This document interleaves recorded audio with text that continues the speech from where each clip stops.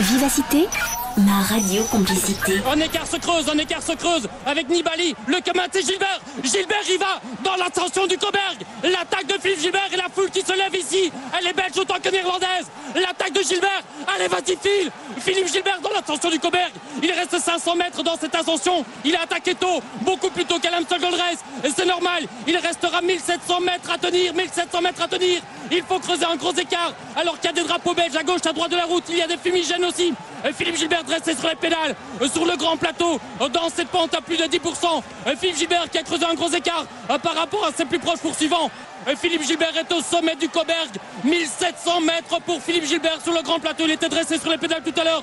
Il s'est rassis. Il tente de pénétrer dans l'air. Il a les mains en bas du guidon. Le plus gros praguet possible. Il le met, Philippe Gilbert, sur la droite de la route. La tête de travers. La langue qui sort. Maintenant les dents serrées. Et Philippe Gilbert, la bouche grande ouverte pour tenter d'emmagasiner un maximum d'oxygène. Philippe Gilbert est à 1500 mètres de la ligne d'arrivée. Il est à 1500 mètres du titre de champion du monde.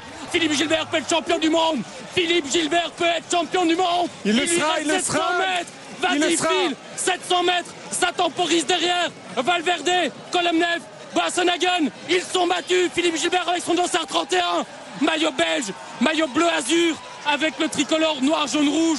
Une saison pourrie, une saison sous la pluie, du soleil en Espagne, l'arc-en-ciel à Valkenburg. Il est à 500 mètres de la ligne d'arrivée.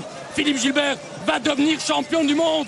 Le rêve d'une vie, le rêve d'une carrière professionnelle, le rêve d'un coureur cycliste. Il serre le poing. Il est champion du monde, Philippe Gilbert. Dressé sur les pédales une dernière fois, il se retourne. Gilbert se retourne pour constater les dégâts. Emmanuel se relève. Philippe Gilbert se relève. Philippe Gilbert est champion du monde. Phil, tu es champion du monde. Ça y est, tu l'es. Brandis les bras. Savoure. Philippe Gilbert, champion du monde.